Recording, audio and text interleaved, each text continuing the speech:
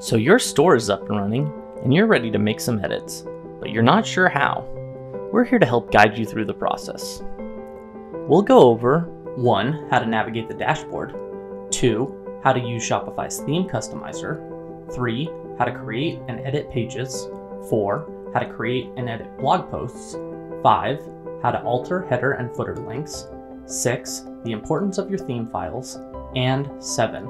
How to use apps. In Shopify, all edits begin on the admin dashboard. The dashboard is an overview of your site. In the center, you will see a number of analytics displaying detailed data about your site. On the left sidebar, you can navigate through the back end of your site and interact with data associated with products, collections, shipping information, and store details. We'll start with your theme. Your theme is the layout, the design, the functionality of your website, and how your site will display data to your customers. It's the skin of your site and how most people will recognize it. A quick and easy way to customize your theme content and settings is to use Shopify's Theme Customizer. This will include a theme preview and menus to make changes to your theme settings and to add, remove, edit, and rearrange content. If you'd like to utilize this functionality, go to Online Store, then Themes, and click the green Customize button to begin. While the primary purpose of an e-commerce site is the store, there are a number of auxiliary pages that you will want and need. These include things like an FAQ page or an About Us page. If you'd like to add a page to your site or edit an existing page, locate the Online Store tab on the left-hand sidebar. Next, go to Pages, and here you can add or select a page to edit. If you are looking for a specific page, use the search bar at the top left and search for the page you are looking for. Click on it to begin editing.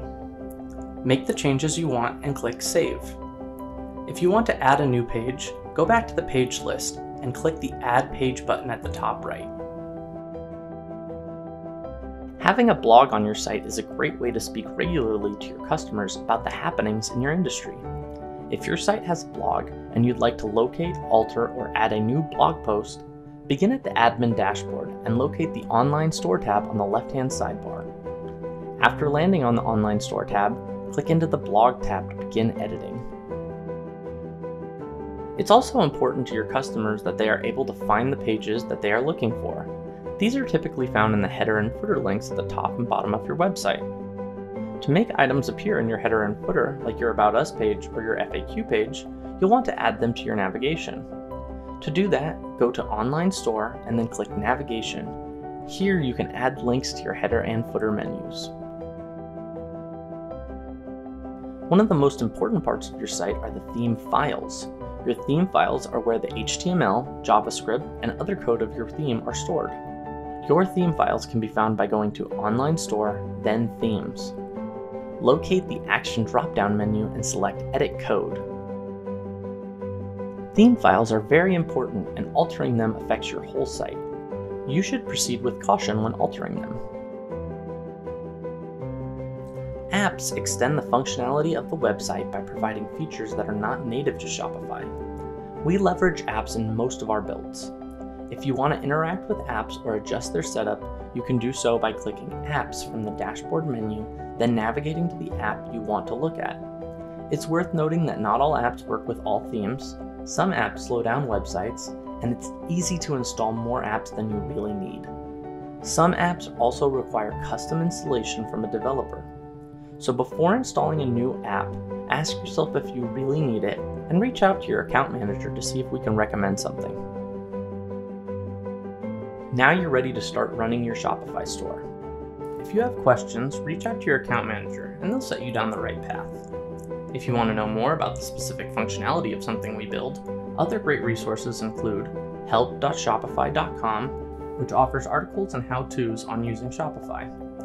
Similarly, the Shopify forums, community.shopify.com, is an active community of Shopify developers and store owners like you. You can also reach out to our Client Success Manager to keep your site on the cutting edge. And those are the basics of how to navigate editing your site. This is your site, and we want to encourage you to make changes to make it your own and edit as needed. Just remain cautious when making edits and feel free to reach out to us when you'd prefer us to make edits for you. We hope you are having fun exploring your new site and thank you for working with Arctic Leaf.